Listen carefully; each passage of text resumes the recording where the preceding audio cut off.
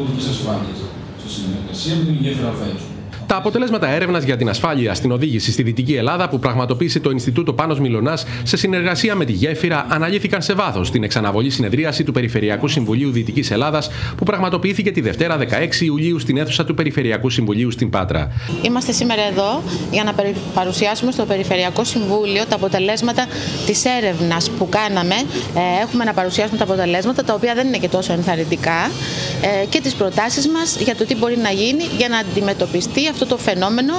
ε, των τροχαίων συμβάντων. Για τα ευρήματα της έρευνας ενημέρωσε το Σώμα ο πρόεδρος του Συμβουλίου Οδικής Ασφάλειας της Περιφέρειας Δυτικής Ελλάδας, Γεώργιος Τσόγκας, ενώ στη συνεδρίαση παρευρέθηκαν η πρόεδρος του Ινστιτούτου Οδικής Ασφάλειας Πάνος Μιλονά, Βασιλική Μιλονά, ο αντιπρόεδρος Επικοινωνίας και Προβολής Γιάννης Φρέρης και οι αξιωματικοί της Ελλάς, οι οποίοι εξειδίκευσαν στις παραμέτρους πρόκλησης ατυχημάτων και έδωσαν βαρύτητα στη διαμόρφωση συνθηκών οδικής ασφάλειας. Επιθετική οδήγηση, έστω μία φορά τους τελευταίους 12 μήνες, είχε το 80% και έχει κορνάρει για να δείξει την ενόχλησή του σε κάποιον άλλο χρήστη του αυτοκινητόδρομου. Το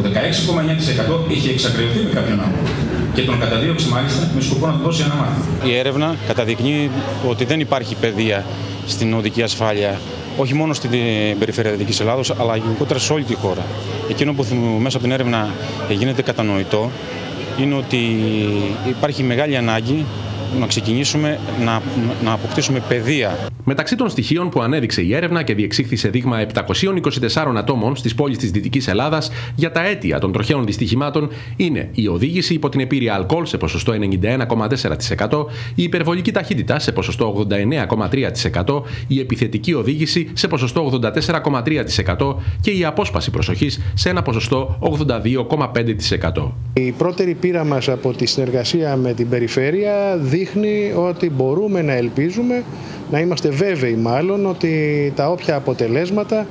σε μια περιφέρεια που ήδη έχει θεσπίσει το θεσμό της Επιτροπής Οδικής Ασφάλειας κάπου θα καταλήξουν και από την Επιτροπή και μετά θα μεταφραστούν σε πολιτικές υλοποιήσιμες που θα αφορούν και το κομμάτι πατρών πύργου. Τελευταία θα είδατε κι εσείς και σήμερα περνάει από το Περιφερειακό Συμβούλιο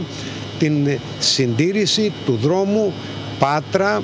ε, από τα Ποζαΐτικα, Ρίο, Ψαθόπυργος, ε, Σελιανίτικα, Αίγιο. Σε όλα τα προηγούμενα έρχεται να λειτουργήσει ανασταλτικά η επιχειρούμενη αναβάθμιση, βελτίωση και συντήρηση της παλαιάς Εθνικής Οδού Πατρών Αιγείου, που απασχόλησε επίσης το Περιφερειακό Συμβούλιο μετά και την πρόσφατη έγκριση της πρότασης από τον αναπληρωτή Υπουργό Οικονομίας και Ανάπτυξης Αλέξη Χαρίτσι για ένταξη της αναβάθμισης και συντήρησης της Οδού στο τμήμα Πάτρα Αίγιο στο πρόγραμμα Δημοσίων Επενδύσεων της Περιφέρειας Δυτικής Ελλάδας με προπολογισμό 12,5 εκατομμύρια ευρώ.